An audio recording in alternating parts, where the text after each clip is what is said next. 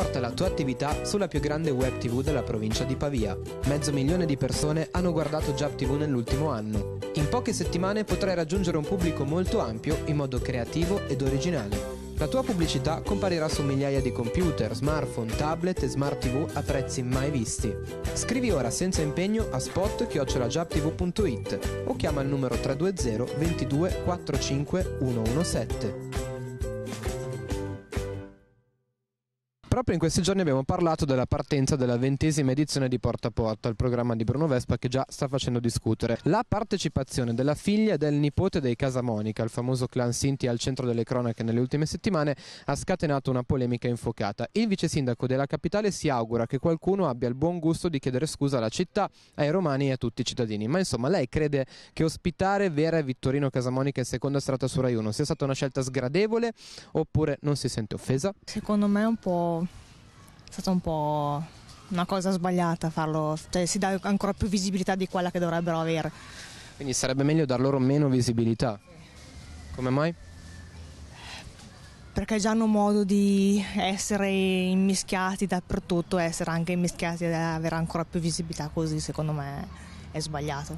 Infatti il sindaco addirittura ha detto che c'è il rischio che la mafia si trasformi in un fenomeno folcloristico, sei d'accordo? Sì. Bruno Vespa si è difeso dicendo lasciateci fare il nostro mestiere, sono due persone incensurate che possono portare una testimonianza importante, ma quanto il diritto di cronaca può giustificare la presenza di queste persone in un programma televisivo? Fino a che punto?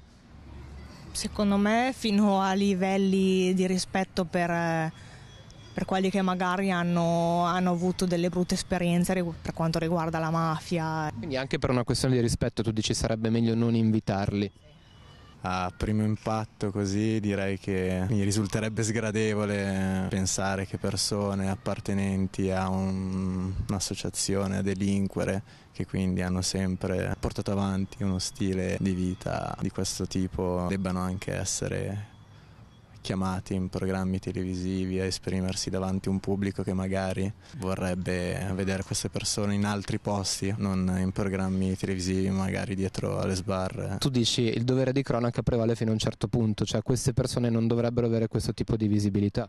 Non dico questo, sicuramente hanno diritto di esprimere la propria parola al pubblico, però certamente quando tu sei di fronte comunque a queste persone, sei anche conscio di chi sono e di quello che hanno fatto, è come se si accettasse un certo stato, una certa situazione si andasse avanti nonostante bisognasse fare qualcosa per risolvere problemi di questo tipo. Io non ho visto questa trasmissione, però è certo che è una cosa che non ritengo molto giusta anche il funerale, tutto ciò come si è svolto, tutte le varie cose, sono cose che bisognerebbe prevenirle e non farle fare, perché secondo me è un po' troppo sfacciata la cosa, nel senso che tutte le cose, un po' di pudore, un po' di vergogna, un po' di, di buon senso, bisognerebbe adoperarlo. Vespa si è difeso dicendo eh, questo è comunque diritto e dovere di cronaca, informazione. In tutte le cose bisogna avere un po' di buonsenso e un po' di limite.